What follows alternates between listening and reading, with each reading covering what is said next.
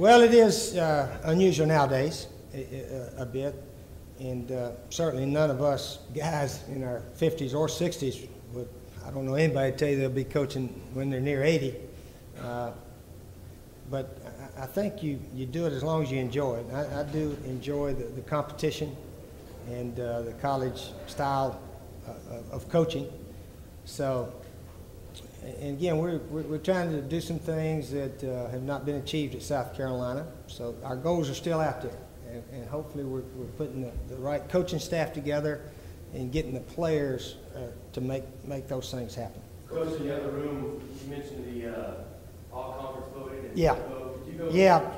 Yeah. My, uh, my answer when I rehearsed, rehearsed, I knew it was going to come up uh, my answer was that some coach made a, a, dumb, stupid mistake by not having Tim Tebow uh, in, his selection process. Uh, we all know he's the best quarterback in this conference. He's the best in the country, uh, probably the best football player in the country.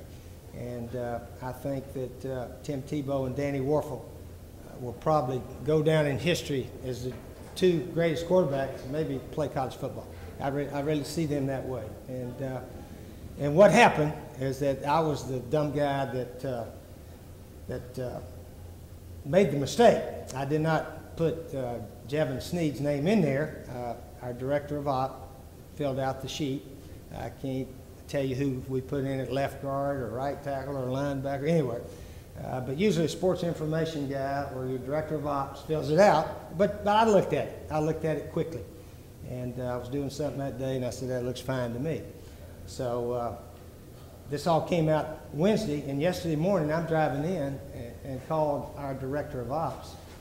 And uh, I said, certainly we had Tim Tebow as quarterback, didn't we? And uh, a little quiet for a moment. He said, actually, said, actually we put Jevan Snead in there. So why, why in the world do that? And I'm embarrassed about this. I really am. I, I feel badly. I apologize to Tim and Florida that, that we made a stupid mistake.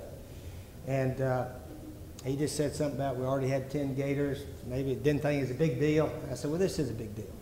And uh, I'll take the blame, and I, take full responsibility. I, I, did not look at that sheet. Uh, but anyway, between that then and coming here today, I called Charlie Bloom, uh, the SEC Media Relation Director, and I said, I want to put my selection, change that South Carolina selection to Tim Tebow. He said, okay, we'll do it. So officially now, it, it, he, Tim Tebow is unanimous, and I, I screwed it up. I apologize. I messed it up by not looking at it. But that's the way it happened. And uh, I have great admiration for Tim Tebow. And uh, he and Danny Wuerffel are two of the finest young men to ever play this game, sincere Christian young men that uh, live, live the Christian life. They don't just talk it. And uh, what Urban Meyer and those guys have done the last three years, uh, uh, they're the best in college football. Simply as that. And uh, we messed it up. We, I messed it up. Coach, when you look at a guy like Lane Kiffin, do you see uh, him as maybe a younger version of yourself at all? I'm, I'm not. I, I, refer all questions about those guys to somebody else. All right, I'm not, I don't need to talk about them. I, we, we got our own issues at South Carolina. And uh, I think uh, the commissioner is trying to get all of us to worry about our own problems, our own team, our own program, and that's what I'm trying my best to do. Coach, Four, right here, and then right here, right there, and right here. Coach, what is campspurrier.com? Campspurrier.com. Get a little advertisement here. Yeah, a group uh, came uh, last summer and uh, wanted to do a little internet blog called campspurrier.com for youngsters uh, we talk a little bit about football, fundamentals of football, and this, that, and the other, but basically it's uh, a, a, website to teach youngsters to do things right, uh, to exercise when they come home after school, eat correctly, take the trash out, make your bed, all that kind of stuff, and uh, show respect for your teachers and parents and all that kind of stuff. So it's, it's sort of a little educational type uh, campsite for youngsters. and I, think it would be beneficial, hopefully, for a lot of young boys and girls. Coach, can you talk about the first game with NC State? You guys took care of them pretty easily last year. Well, it wasn't that easy. Uh, we scored some late.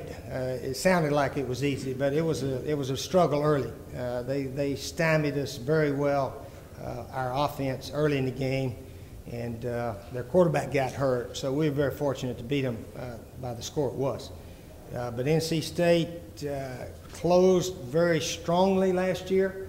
Uh, I think they won four or five in a row there towards the end, and uh, it- it's going to be a very difficult opener. We know that. And we're, we're looking forward to opening up on national TV, ESPN, ESPN, the SEC network. We're supposed to say that, I think.